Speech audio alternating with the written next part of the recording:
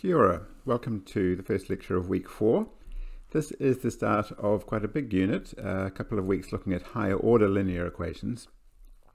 Now you remember from first order equations that we could solve all the linear ones by reducing them to some integrals with the integrating factor method, but we could only we only solved some nonlinear ones. They're more complicated.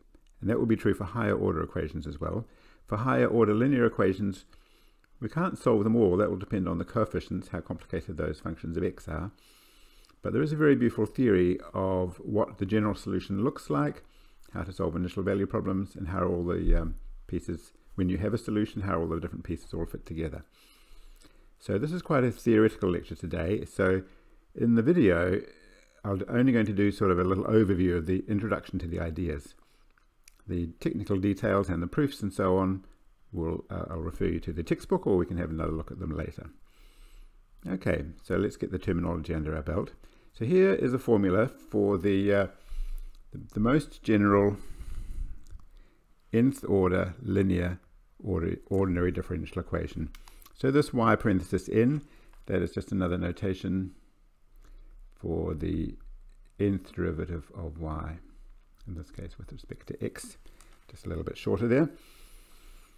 So I've got all my derivative terms, my y term with no derivative, and on the right hand side I've got a term with no y at all, just a function of x. And these coefficients, a n down to a0 and g, they will determine what method you might use to actually find the solutions. But the theory about the existence of solutions, that works for all equations of this type. Now this is an nth order equation, and you might suspect uh, or guess from earlier that that's going to need n initial values to have a unique solution. So the typical initial value problem would be to specify the value of y at some point, the derivative of y at some point, let's call it y naught prime, that's just a number, and I'm going to need n pieces of data, that means I have to go all the way up to the n minus first derivative at x naught. That's my initial data, n pieces of initial data. And typically then, if those coefficients were nice, this problem would then have a unique solution. What makes this an initial value problem is that all the initial data is specified at the same value of the independent variable. If you have some bits of data specified at different x values, that's called a boundary value problem, and they're typically more difficult. Now, a lot is going to depend on this right-hand side here, the g of x. Sometimes it's called the forcing term. The homogeneous case is what we're going to do first. That's when g of x is equal to 0, so just equals 0 on the right. And the inhomogeneous case is when it's non-zero, so when you do have something on the right. And we'll see in a second that to solve the inhomogeneous case, say it's you know, equal to x or something on the right, what you do is first forget about that and cross it, cross out that right-hand side and solve the homogeneous case first. So it reduces it to the earlier case. Now, superposition principle. This says that if you have a linear homogeneous case, homogeneous, so that's g of x equal to 0, then if you've got two solutions, you can add them together and get another solution. And you can multiply solutions by constants and still have another solution. In other words, you can take linear combinations of solutions and still get solutions. So this is very important. So we'll, we'll um, actually prove this. And I'm going to introduce this linear operator. It's a n d n dx to the n plus dot dot dot plus a1 d dx plus a naught. So that is a slightly strange object if you haven't met operators before. But what this is, is when it applies to y, it just gives you the left-hand side of that differential equation. So the d dx operator applied to y just gives you the derivative of y. So that means the ODE is L of y equals g of x for the non-homogeneous case, or L of y equals 0 for the homogeneous case. So the important property is that L of a constant times one function plus another constant times another function. Now these just can be any functions whatsoever, not necessarily solutions of the equation, uh, is equal to C1 L of Y1 plus C2 L of Y2 for any constants C1 and C2 and any functions y1 of x, y2 of x. In other words, this is a linear operator. It preserves linear combinations. Now, I, I can refer you to the textbook for this proof written out in full, but let's just check it for the simplest terms. Um, for example, let's do the case uh, n equals 1, a1 d dx, a, plus a0 applied to c1y1 plus c2y2. What is that? Well, I've got a0 times this thing, that's just a multiplication, and then I've got a1 times the derivative of this thing, so that gives me a1 times c1y1 prime plus a1 times c2 y2 prime plus a0 c1y1 plus a naught c2 y2 and c1 is a constant so the derivative of c1 times y1 is just c1 times the derivative of y1 and if you look at it that is just a1 d dx plus a0 c1 times a1 d dx plus a0 applied to y1 plus c2 a1 d dx plus a0 applied to y2. So a little bit of writing out, but really not much maths happening there at all, just rearranging things. We're using the fact that differentiation is itself a linear operator, namely the derivative of a sum is the sum of the derivatives. The derivative of a constant times something is the constant times the derivative fundamental properties of the derivative. So now I'm done. So if L of y1 is 0 and L of y2 is 0, then L of c1y1 plus c2y2 is going to be c1 L of y1 plus c2 L of y2 running out of space L of y1 is 0 because y1 is a solution. L of y2 is 0 because y2 is a solution, so this is 0. So the superposition principle says, make a bit of space for it up here.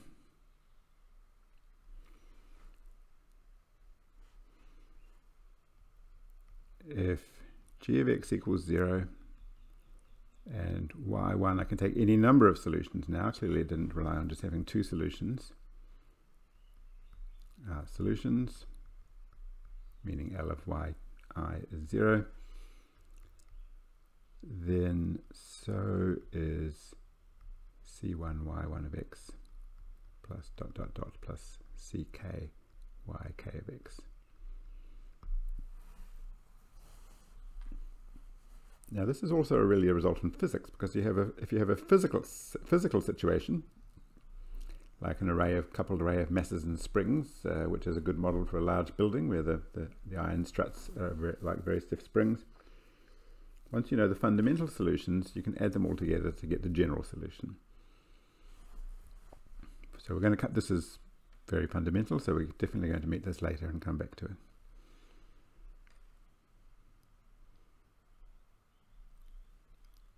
Now, if you found a solution y1 and you found another solution y2, that's great, you can take linear combinations. But what if that second solution wasn't really any different from the first solution? We're really looking for new solutions that we haven't found before. So the definition of linear independence, which should look familiar to you from studying um, linear algebra, if I have a bunch of functions uh, linearly independent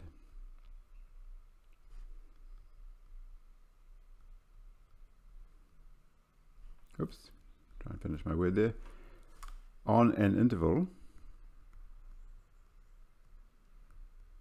So an interval i might be a less than equal to x less than equal to b or it might be the whole real line. If c1y1 plus dot dot dot plus ck equals 0 for all x in the interval implies c1 equals dot dot dot equals ck equals 0. Now this is exactly the same as the definition of linear, linear, a set of linearly independent vectors. It's just now the, um, the objects, the y's, are functions of x. So instead of just being equal to the 0 vector, you have to be equal to 0 for all x. In other words, the only linear combination of those functions that's 0 is the 0 combination. So I'll do a few simple examples here and I'll refer you to the textbook for more complicated examples. Uh, if I have this set of functions, 1, x, x squared and x cubed, they, that set is linearly independent on the whole real line. Well, what, what do you get if you take a linear combination of these functions? You get a, an arbitrary cubic polynomial. And the only way a cubic polynomial can be equal to 0 for all x is if it's the 0 polynomial, so all its coefficients are 0.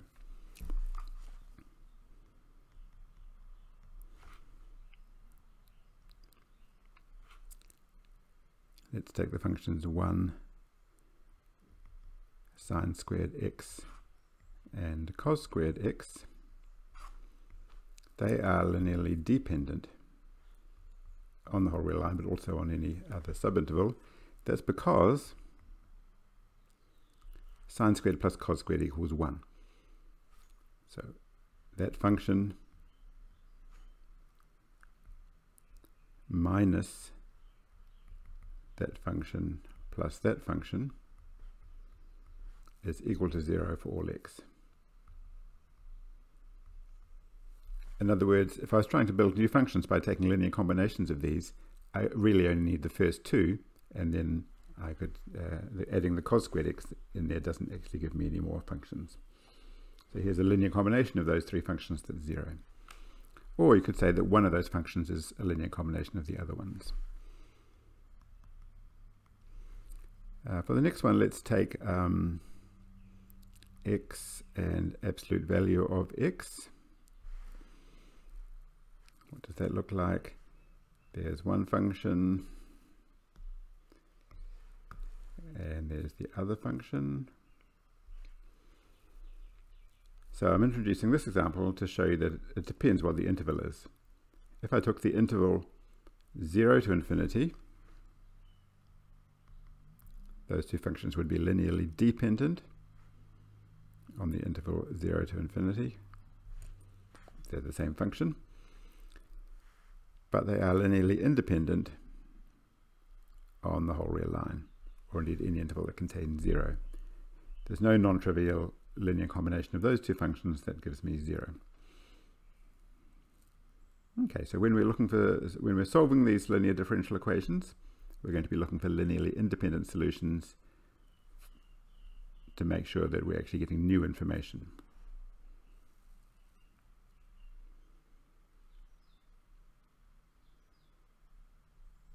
So coming back to the um, general homogeneous nth order linear equation, what we're really looking for is what's called a fundamental solution set.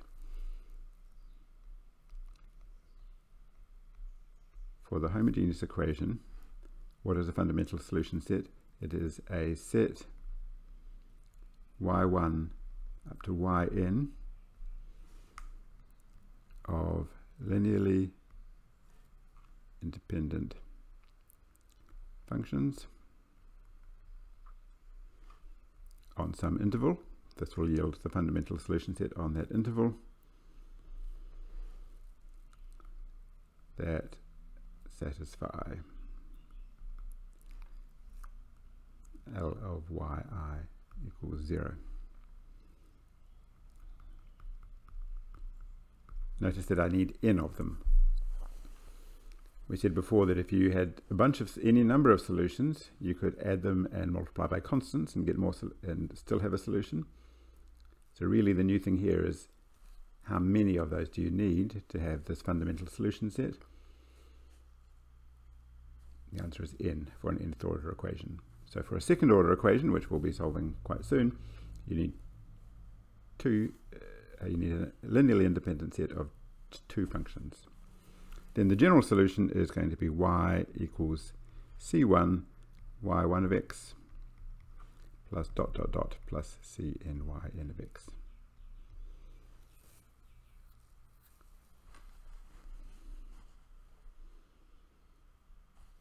We, we can also show that um, from this general solution you can find the constant c1 up to cn to satisfy any uh, set of n initial data. So allows solution of any initial value problem. Now one thing I haven't mentioned here, which I'll refer you to the textbook or we'll uh, discuss it later, is how do you tell if a set of functions are linearly independent? So there is a calculus tool for doing that. It's called the Wronskian. It's a certain determinant of uh, some derivatives of those functions that you can work out. And if, if this Wronskian comes out to be zero, the functions are dependent. If it's non-zero, then they're independent. Okay, so I think our final topic here is to go back to the inhomogeneous equation L of y equals g of x. And the result is the general solution to this equation is y is equal to yc, called the complementary solution, plus yp, called the particular solution, where L of yc equals 0, and yp is any solution to L of y p equals g of x. Now this looks a little bit circular. We don't seem to have done anything much, but we have really, because what this is saying is if you can just find one solution to the inhomogeneous problem, and we'll see that that is not as hard as it sounds, sometimes you can even guess the solution, then you immediately know the general solution because you just take that particular solution that you found and add in the general solution to the homogeneous problem, which we already know how to do. In other words, the general solution to the inhomogeneous equation will be c1y1 plus c2y2 plus dot dot dot plus cnyn plus the particular solution. Now we haven't actually solved these equations yet, but at least we know we'll, at least we'll be able to recognize when we do have the general solution. So that's already big progress. And this is a very general theory that works for any coefficient functions and for any order.